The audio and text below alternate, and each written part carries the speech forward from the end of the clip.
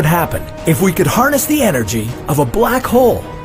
Theoretically, we could collect all that power without any super advanced new tech. And if we did, we'd have access to more energy than we'd know what to do with. But of course, it's not that easy.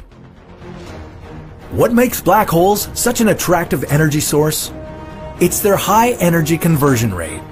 Let's do some math. Take a 3 kilogram kitten and multiply his mass by the speed of light squared. You'll see that the energy contained within this one little kitty is enough to power up 6.4 million American homes for a year. But you could never extract all that energy from a cat. The best energy producers we have right now, nuclear fission and nuclear fusion, only gather 0.08 and 0.7% of the potential energy in mass. Black holes are a different story.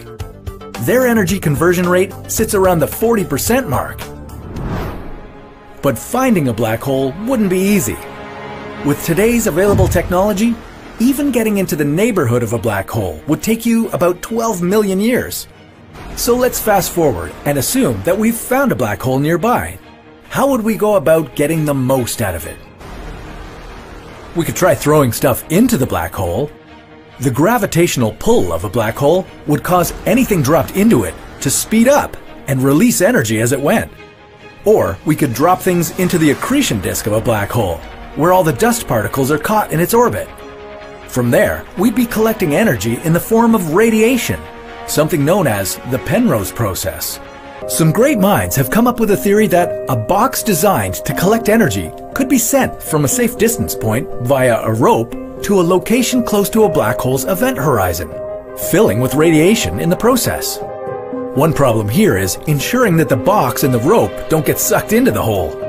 According to some calculations, the box suitable for this task could only be the size of bacteria, so that the rope could still support it.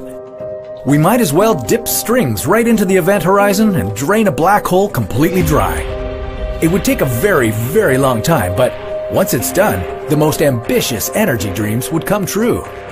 We could abandon our power plants and finally stop polluting the planet. We could fuel up our rockets and go explore outer space. We'd start building megastructures in space. The things we could do with unlimited energy.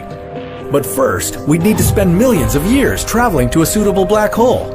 That is, unless we could develop a warp drive technology to speed things up.